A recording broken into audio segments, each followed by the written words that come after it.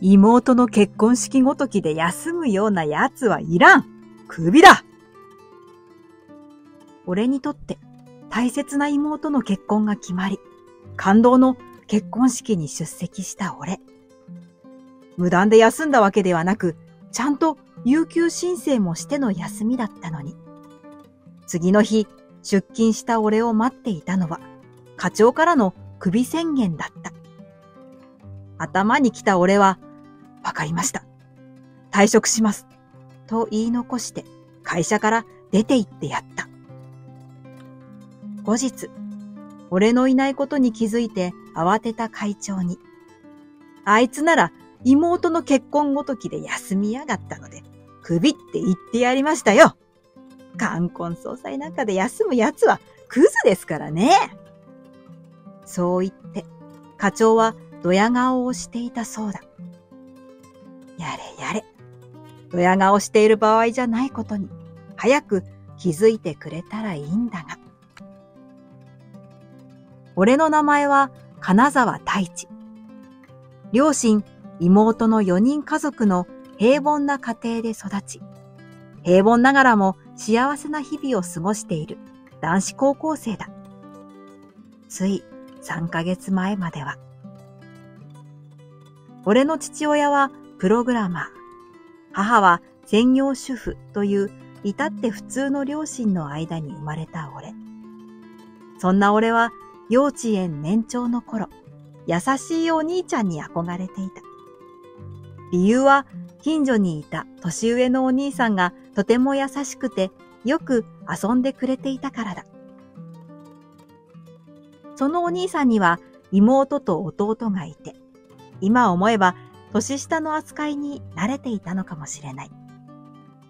面倒見がとても良くて、みんなからお兄ちゃんと慕われていた。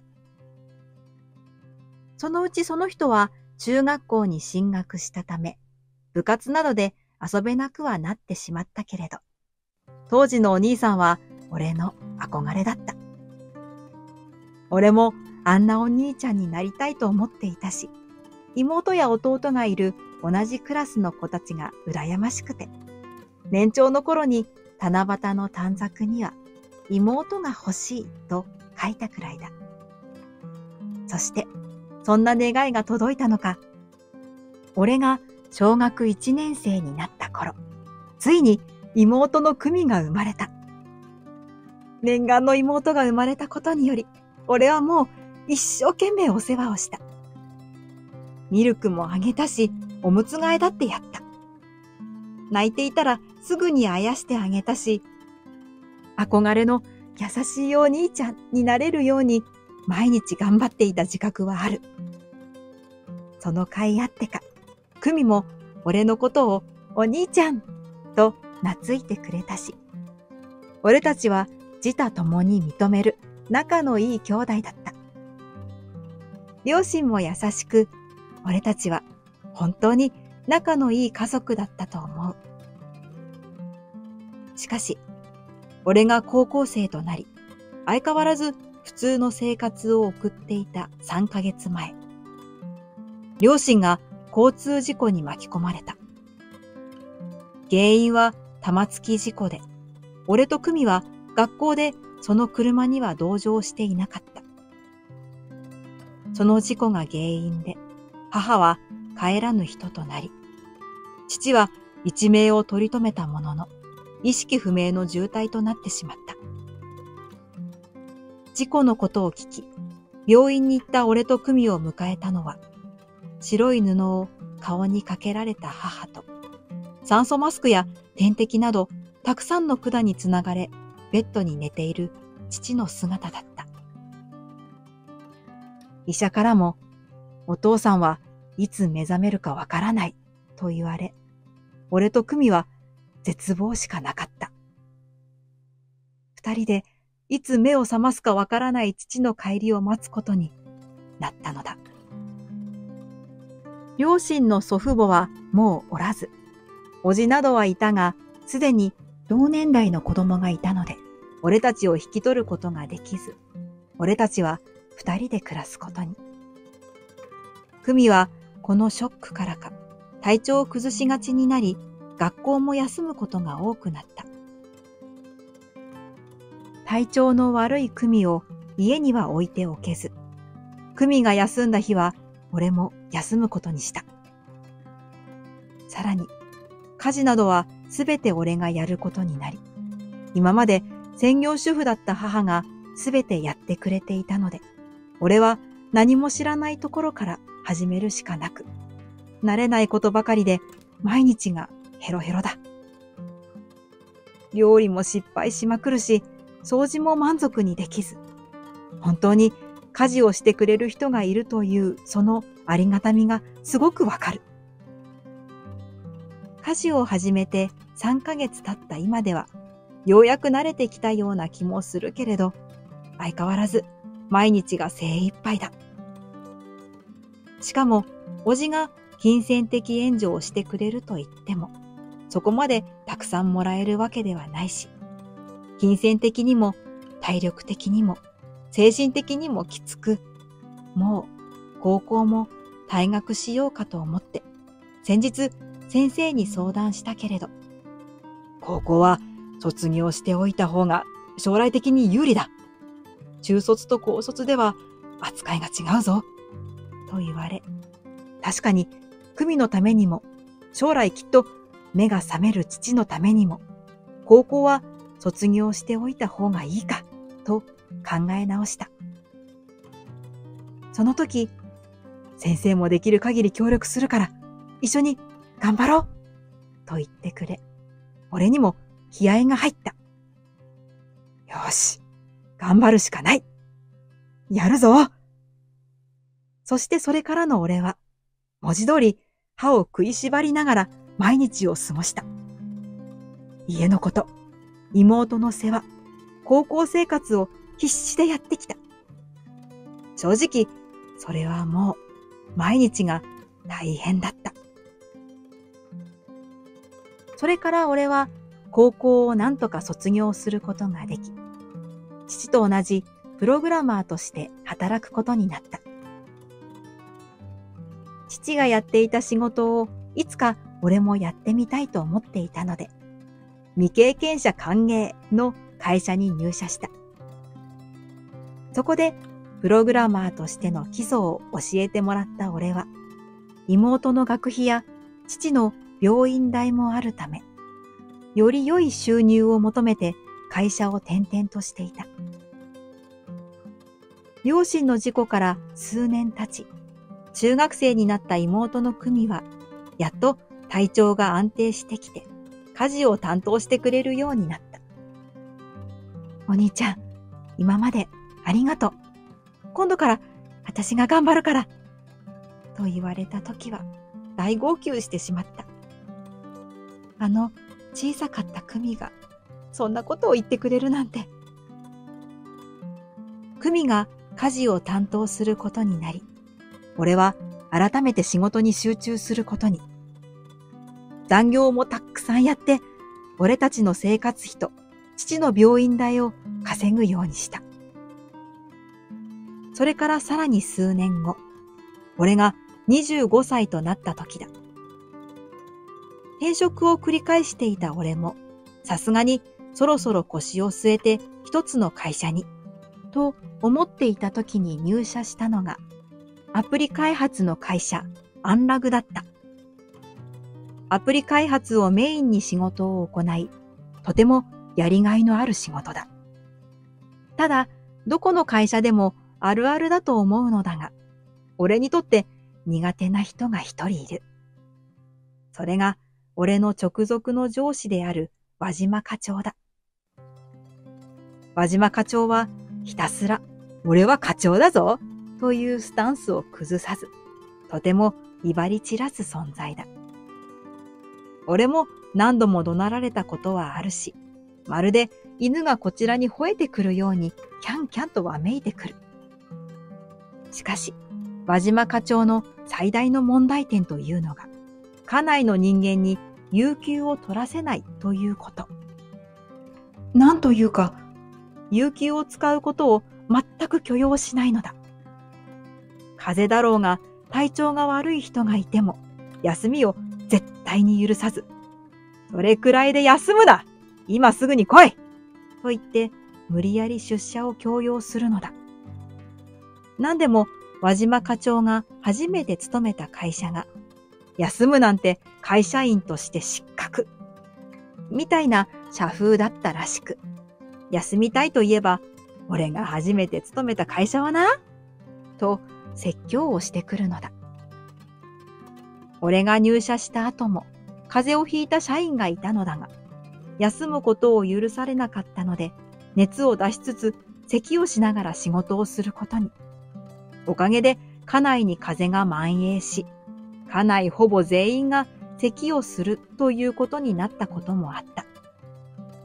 俺ももちろん風邪がうつったのか、咳が止まらなかったのだけど、休むことは許されず、重い体を引きずりながら無理やり出社し仕事をした。ちなみに課長はというと、鋼の体なのか風が移ることはなかった。有給を使うななんて、そんな昭和の風習を振りかざされてもなというのが正直な感想で、俺を含めて家内全員が困っていた。しかし、何度訴えても課長は絶対に許してくれないそうだ。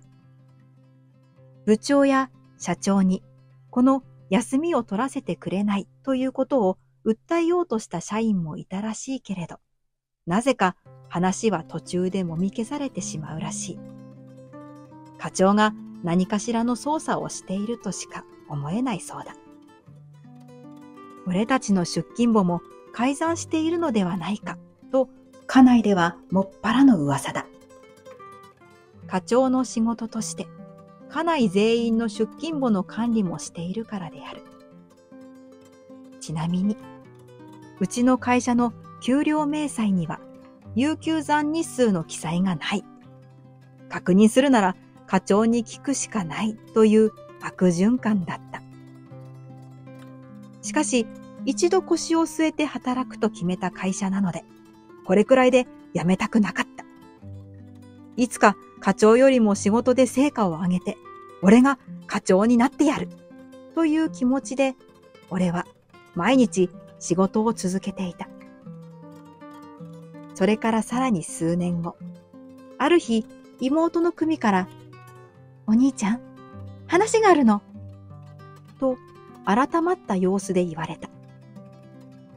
組は高校卒業後に医療系の専門学校に進み、理学療法士として大きな病院で働いていた。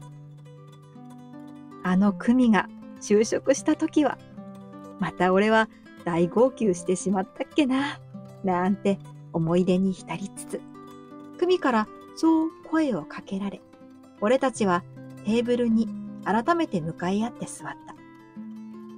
それで、組話って。あのね、実は私、今、お付き合いしている人から、この前、プロポーズしてもらえて、それで、結婚しようと思ってるの。え？クミが結婚？彼氏がいることは聞いていたが、まさか結婚話が出ていたとは。お兄ちゃんが私のことをここまで育ててくれたから、彼と出会えて結婚するんだよ。お兄ちゃん、本当にありがとう。と言ってくれ。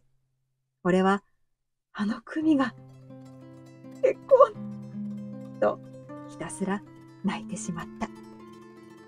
待ってお兄ちゃん、泣きすぎ結婚式もするのに、今からそんなに泣かれたら私が困るよ。と苦笑いされたけれど、もうそんなの関係なかった。可愛い妹の結婚が決まって、しかもありがとうとお礼まで言ってもらえて、泣かない方がおかしいだろう。その日は祝杯として酎ハイもたくさん飲んでしまったのだった。久美の結婚式は来年の6月の予定で、それまでに両家の挨拶、新居を探して引っ越しをするそうだ。結婚式が来年と聞いて、俺は今からすでに相当待ち遠しくてたまらなかった。次の日、出社した時に、同期の佐藤に妹が結婚するんだと報告して、お前が結婚するみたいなテンションだな、と突っ込まれた。それくらい嬉しかったのだ。同期の佐藤は定期的に飲みに行く中で何でも話せるやつだ。そして、輪島課長に苦しめられている仲間でもあるので、戦友といった感じだ。なあ、佐藤、妹の結婚式くらいは、課長もさすがに有給くれるかな？いや、あの輪島課長だぞ。無理じゃね？と、佐藤は苦笑いをしてきた。だよなぁ、と笑っていたが、俺はもし結婚式の日に仕事をすることになったとしても、その日は何が何でも有給をもぎ取ってやるという強い気持ちを持つことにした。そして少しして結婚式の日取りが確定したのだが、それは6月の平日だった。何でもすでに土日は予約が埋まっており、どうしても平日でしかできないとなってしまったそうだ。やはりジューンブライドということもあって人気があるらしい。他の日取りは？と聞いてみたのだが、6月は俺たちの両親が結婚式をした月でもあり、両親と同じ6月に結婚式をしたいというのが久美の夢だったらしい。お兄ちゃん、平日だと休めないよね。と妹がしょんぼりしながら言ってきたので、絶対休んでやるよと俺は宣言した。それから具体的な日付を聞いた俺は、次の日に輪島課長に、来年の6月のこの日なんですが、妹の結婚式があるので、有給を使わせてください。お願いしますと言った。有給を使うなと怒鳴られるかと思ったが、課長の反応は予想外に、ふん、とだけ返事をしてきた。この反応は、つまり、有給を使う許可をもらったと考えていいのだろうか。それ以降も課長は何も言ってこないので、やっぱりさすがに妹の結婚式となれば許されるのだろうか。でも噂によると、突然の不幸や法事でも絶対に許してくれなかったって聞いたんだけどな。佐藤、課長から有給許されたよ。マジで？ついに課長も心入れ替えたのか？という会話をしたくらいだ。久美にも同じ話をすると、え？お兄ちゃんから課長さんの話聞くたびに、ないわーって思ったクソ課長だと思ってたけど、今回は許してくれたんだ。何か心境の変化あったのかな？と言われた。会ったこともない人からクソ課長って呼ばれる課長もすごいなってちょっと思ってしまった。それから月日は流れ、ついに今日は妹の久美の結婚式だ。結婚式の会場は地元から少し離れた自然の中にある教会で、今日は平日ということもあり、身内しか呼ばない小さな式となった。バージンロードはお兄ちゃんと歩きたい。と言われた俺はガチガチに緊張しつつ、久美と腕を組みながらバージンロードを歩き、普通に泣いた。ウェディングドレスを着た久美はとても綺麗で、俺はまた泣いた。お兄ちゃん、めっちゃ泣くじゃん と笑った久美は幸せそうに見え、式の最後に読まれた親への手紙も、親代わりに育ててくれたお兄ちゃんへ、と言われ、俺は、さらに泣いた。正直、もう体の水分をすべて涙に持っていかれたのではないか。というくらい、俺は泣き尽くし、多分、この結婚式で撮られた写真すべてで泣いている姿しかなかったと思う。後で見せてもらったら約9割がそうだった。これには自分でもちょっと引いた。結果的には、久美の結婚式はとてもいい式で、一生の思い出に残るような式だったと思う。そして次の日、俺は会社に出勤した。有給を取らせてもらったこともあり、そのお礼としてお菓子詰め合わせも持って家内に行くと、俺のデスクの荷物がすべてなくなっていた。え？思わず持っていたお菓子の詰め合わせを落としそうになり、慌てて手に力を入れ直した。ずっと使っていたデスクトップパソコンも、調べ物用のノートパソコンも、引き出しの中に入れていたペンケースから仕事の資料、テキストまで全てなくなっていた。デスクは綺麗な状態になっており、これから誰か新入社員でも入ってくるのだろうか。どういうことだ？と思って周りを見渡すが、今日は俺も早めに出勤していたので、家内にはまだ誰もいなかった。おや？金沢、来ていたのか。課長俺が困惑していると、そこに現れたのは輪島課長だった。しかも、なぜかニヤニヤしている。あの、俺のデスクから荷物が。ああ、すべて回収したからな。ほら、これがお前の荷物だ。と、課長は紙袋二つを渡してきた。中身を見ると、確かに俺が使っていたテキストやペンケースなどが入っていた。あの、どういう、妹の結婚式ごときで、休むような奴はいらん。首だ。は、はあ？俺は大声で叫んでしまった。だから、今すぐ出て行け。お前の居場所はここにはない。課長は俺のことを見下すように笑ってそう言ってきた。どういうつもりですか？なんで俺が？だから言ってるだろ？仕事を休むなんて奴はクビになって当然だ何のために会社に入ったんだ？社員にだって休む権利はあります。そのための有給でしょ？俺が初めて入った会社では、そんな甘い考えは通用しなかったぞ。これだから最近の若者は、ここは輪島課長が初めて入社した会社じゃないでしょ？いつまでその考えを引きずっているんですか？なんだと？お前ごときが俺に生意気な態度を取りやがってと言い合いしていると、ぞろぞろと家内のみんなが出社してきて、なんだなんだと俺たちの方に集まってきた。とにかく、冠婚葬祭で休む奴などいらんお前はクビだと再度言ってきた。押し問答を繰り返していた俺と課長だったが、ついに俺の中で何かが切れた。じゃあいいです。わかりました。退職します。太一、待てよ、やめるなんて俺の言葉に佐藤が止めてきたが、俺ももう止まらなかった。いいんだ佐藤。今までありがとうな。そうだ、これ、昨日結婚式に行った時に買ったお土産だ。みんなで食べてくれよ。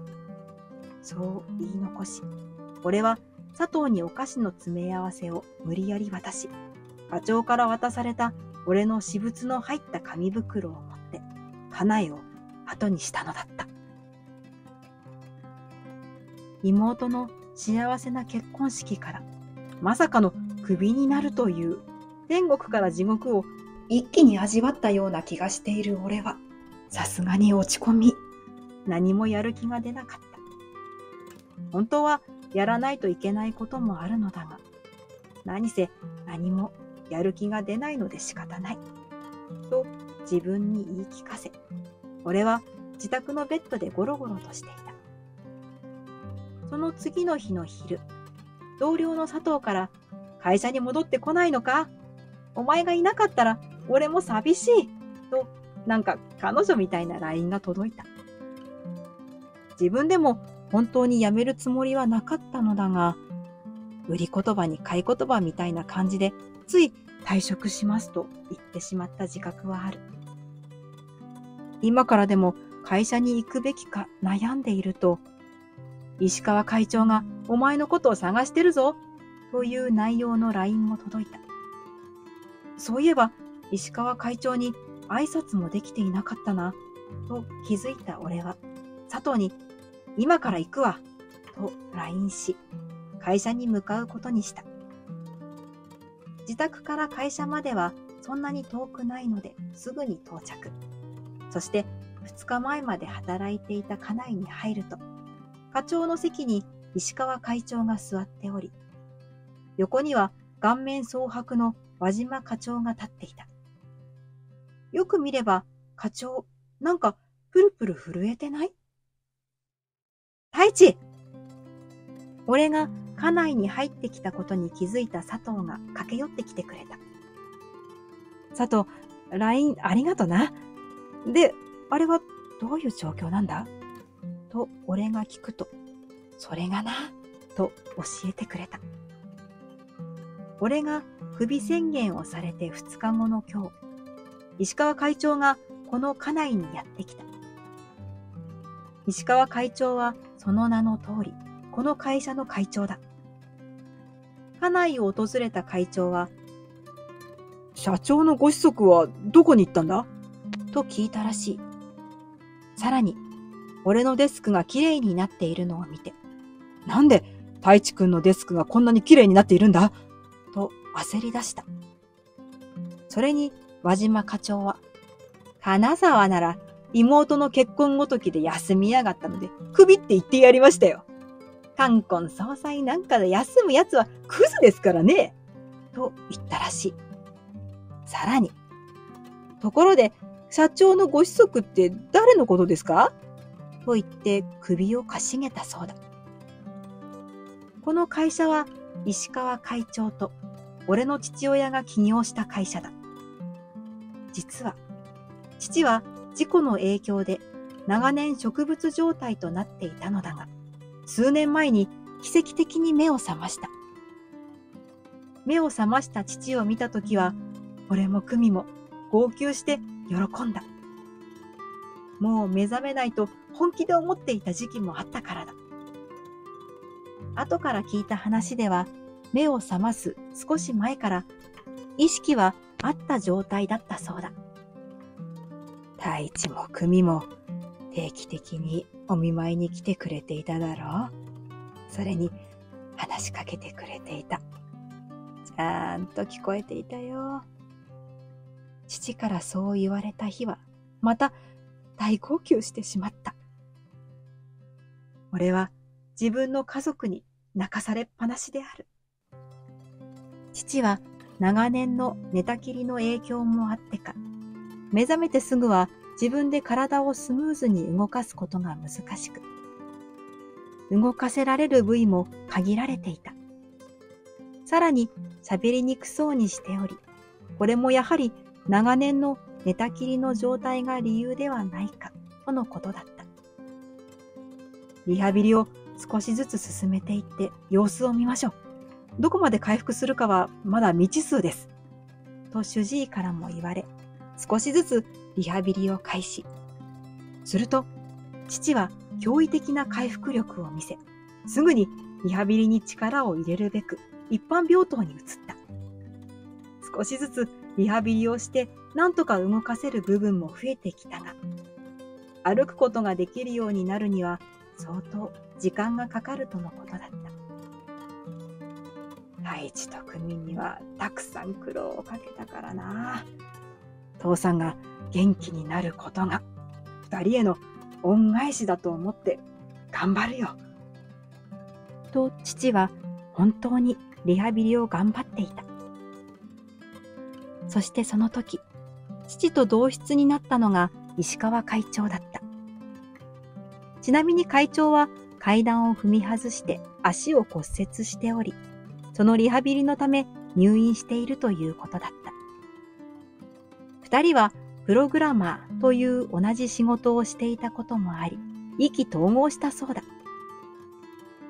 そしてお互いに体を動かしにくいという共通点から体を動かすのが不自由な人用のアプリがあったらいいなぁという話で盛り上がったらしい。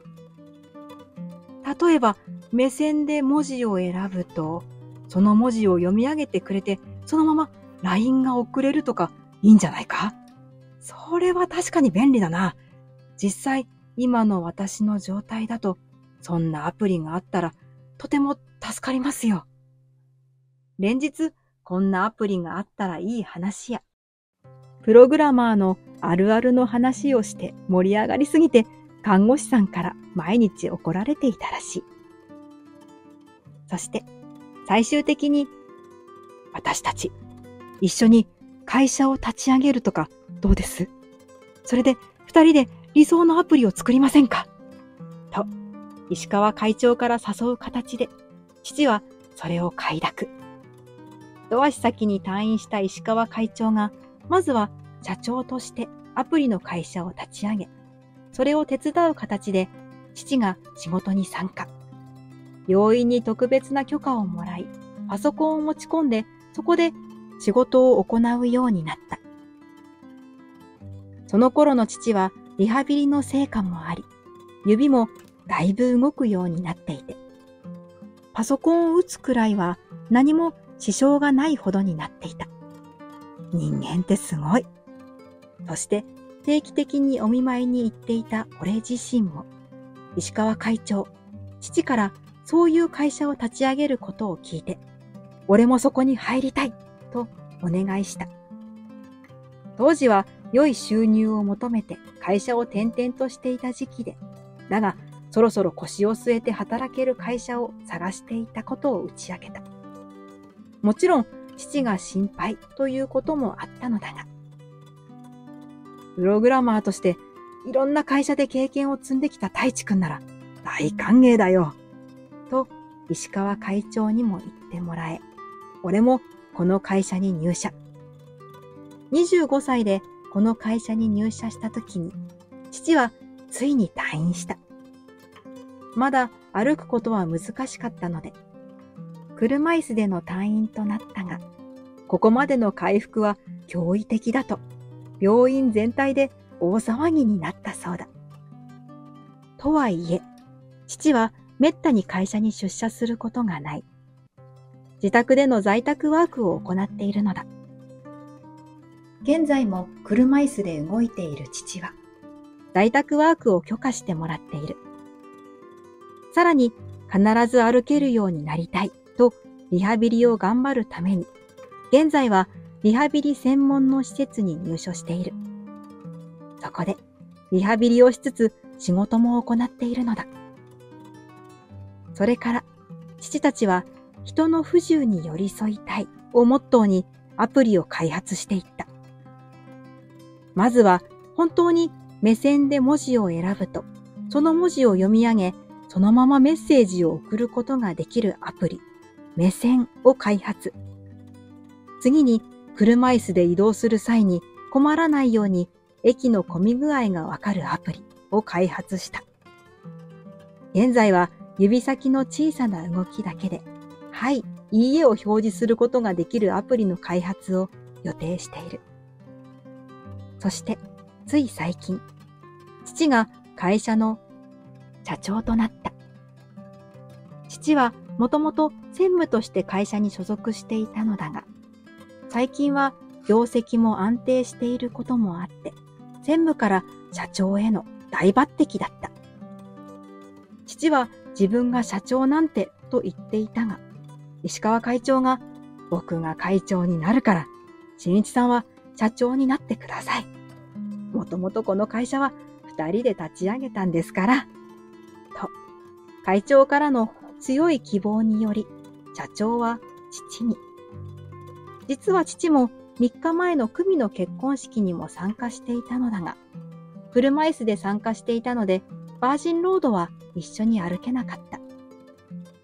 組が、結婚式のバージンロードは普通はお父さんと歩くことが多いけど、私はお兄ちゃんと歩きたいと思ってるんだけど、いいかな？と言ったのだ。俺は父さんと歩いた方がいいんじゃないか？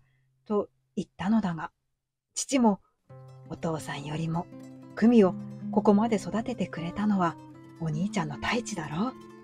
だから、バージンロードはお兄ちゃんと歩いた方がいいんじゃないか？と父が言ってくれた時は、やっぱり泣いてしまった。佐藤に事情を聞き、俺も急いで石川会長のもとに。会長、すいません。何も連絡をせず。いやいや、私も何も事情を知らなくて申し訳ない。まあ、そういうわけで、輪島くん、君は社長の息子に首だとか言ってたわけだが、石川会長が輪島課長をぎろりと睨んだ。そ、そんな、違うんですよ。金沢が社長の息子と知らなくてですね。それは、太一くんが社長の息子だと知っていたら、首とか言わなかったってことか？というか、なんで課長の君が金沢社長の息子だって想像がつかないんだ？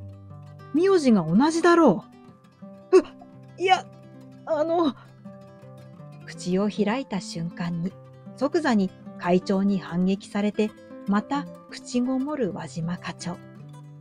まあ、俺は元専務、現社長の息子だと公言していなかったし、知らなかったとしても無理はない。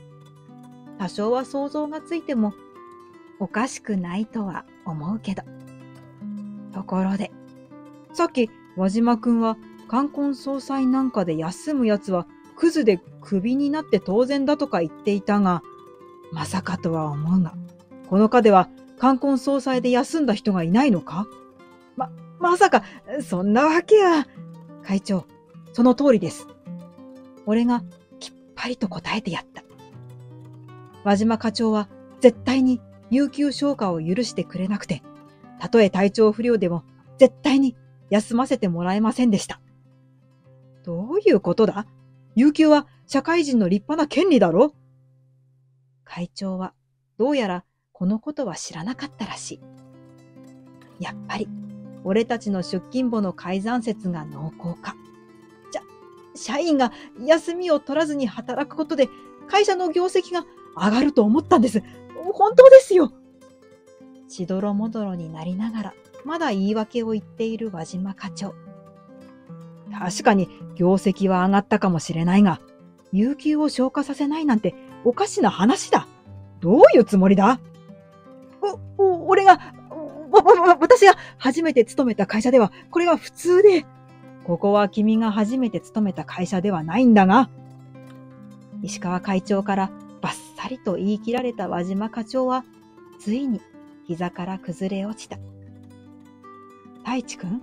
ちなみに、このことは社長には？いえ、まだ言ってません。無駄な心配をかけたくなくて。最近組の結婚もあったので、ネガティブな話題を父に伝えたくなかったというのもある。これは完全に俺の勝手な事情だけども。俺の言葉に石川会長は、わかった。じゃあ、このことは私から社長に報告して処分を言い渡すことにする。それまでは輪島くんは自宅謹慎してなさい。と言い、輪島課長はそのまま自宅に返されることになった。そして輪島課長による俺の首は撤回され、課長自身が自宅謹慎になったため、俺は仕事に復帰することになり、次の日から普通に出勤し仕事を再開した。佐藤をはじめ、家内全員があの輪島課長がいなくなったと大はしゃぎしたのは言うまでもない。人の不幸を喜ぶってあまり褒められたことではないので、大きな声では言えないのだが。数日後、社員の有給消化を認めなかった輪島課長は、石川会長からそれは叱られ、俺の父である社長からも大目玉を食らったそうだ。しかも、降格処分となり、俺たちと一緒に平社員となってしまった。これまで課長として俺たちに威張り散らしていた輪島さんだったが、俺たちと机を並べて仕事をすることはプライドが許せなかったのか。その一般社員になったという現実を受け入れることができなかったのか、すぐに出勤しなくなり、いつの間にか退職してしまったそうだ。課長の後任は課長補佐だった後藤さんになることに。後藤さんは課長就任にあたって、みんな必ず1ヶ月に1回有給を消化することと宣言し、家内の空気はとても良くなり、居心地も良くなった。人が変わるとここまで変わるのかと肌で感じている。俺もいつか、まずは課長になって、いずれは部長とかになって、社長である父を支えたいと思っている。佐藤からも、お前が社長の息子なら、将来的には太一が社長になるのか？と言われたけれど、今のところはどうなるかわからない。いつかは告げたらいいなぁとは思うけれど、今の俺はまだ平社員だからだ。ひたすら現場で頑張ろうと思っている。風の噂で聞いたのだが、その後、輪島元課長は年齢的な理由もあり、プログラマーとしての再就職ができず、日雇いアルバイトで何とか食いつないでいるらしい。この前佐藤が近くの工事現場で輪島元課長に似た人を見たらしいのだが、あながち見間違いではないのかもしれない。今回開発することになったのは、理学療法の際に便利なアプリだ。リハビリをしている父は理学療法も並行して行っているのだが、その際に福祉用具のわかりやすいリストアップがあればいいなと思ったり、治療体操の動画があれば家でもできるなと思ったらしい。それをアプリという側面から何か支援はできないかという考えになったそうだ。それでは理学療法士としても何かこういうのがあればいいなと思うことはないかという話になり、なんと理学療法士監修のもと病院と共同でアプリの開発を進めることになった。このプロジェクトにはその病院で理学療法士をして働いている組も入っており、俺もこのプロジェクトに参加。みんなでプロジェクトを成功させるべく、理学療法士と理学療法を受ける患者の両方の立場から不便なことはないかと聞き込みをしたりと大変だったけれど、最適なアプリを作ることに成功した。それから1年後、今日は母の墓参りに来ている。俺の横にはお腹がぷっくりとしている久美と、しっかりと立って歩いている父の姿があった。父はあれからリハビリを懸命に頑張り、ついに普通に歩けるようにまでなったのだ。車椅子では墓参りはしづらいと言っていて、母が旅立ってから初めての家族揃っての墓参りだ。父さん、すごい歩けるようになったな。ああ、リハビリを頑張った甲斐があった。太一と久美と来ることができて嬉しいよ。私もお兄ちゃんとお父さんと来れて嬉しい。と久美も嬉しそうに笑った。また三人で歩くことができている現実に、俺は泣いてしまった。それを見て笑う妹と父。お兄ちゃん、本当によく泣くよね。嬉し涙でしか泣かないぞ。第一、男だったら泣かないようにしないと。俺たちの笑い声が響いたのだった。両親が事故に遭った時は、まさかこんな未来が待っているなんて思ってもいなかった。妹のためにも、父のためにも、と思って、ただ毎日必死で生きて働いてきたのだ。父が目を覚ました時、本当に諦めてなくてよかったと思った。奇跡というのは起こるのだと。